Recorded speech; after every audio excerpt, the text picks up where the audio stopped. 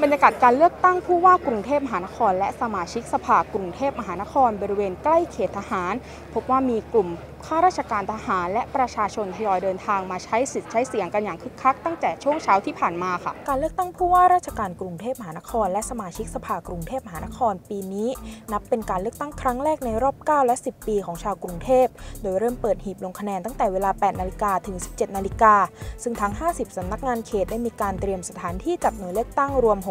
6,817 หน่วย วันนี้บรรยากาศหน่วยเลือกตั้งภายในศูนย์สร้างสุขทุกวัยเกียรติกาย ถนนทหารแขวงถนนนครชัยศรีเขตดุสิต พบว่ามีกลุ่มข้าราชการทหารเดินทางมารอตั้งแต่เวลา7นาฬิกา30 นาที ก่อนเปิดหีบเลือกตั้ง และทยอยเดินทางมาเรื่อยๆ เป็นหมู่คณะ ด้านนางวันเพ็ญปัดชิมนันอายุ 58 ปี เปิดเผยกับทีมข่าวว่า หลังจากที่ไม่ได้เลือกตั้งผู้ว่ากรุงเทพมหานครมาเป็นเวลา 9 ปี อยากจะมีบุคลากรที่เข้ามาพัฒนากรุงเทพให้ดีขึ้น โดยส่วนตัวอยากใช้สิทธิ์ใช้เสียงมานานแล้ว จะได้เลือกคนดีเข้าไปทำงาน เพื่อพัฒนาประเทศให้ดีขึ้น อยากจะมีบุคลากรที่ไปพัฒนาในกรุงเทพให้มันแบบดีขึ้นเนี้ยคือ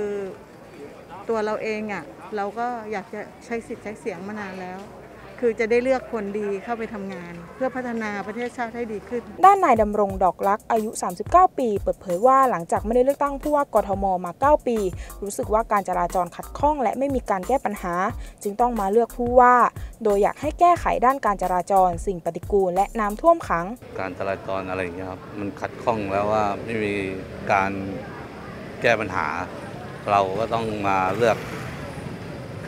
เนี่ยครับผู้ว่า แล้วผู้ว่าแบบไหนคะที่คุณที่อยากให้เข้ามา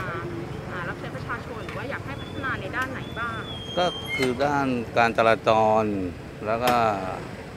สิ่งปฏิกูลน้ำอะไรนะครับที่